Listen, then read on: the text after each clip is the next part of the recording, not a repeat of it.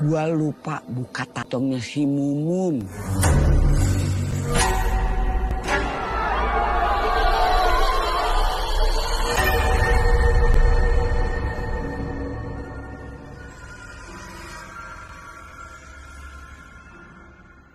Momen datang, Bang.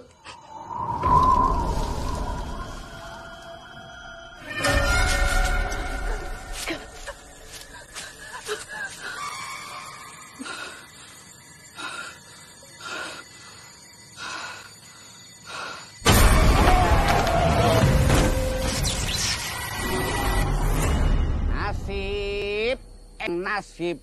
Dapat kerjaan jadi tukang gali kubur.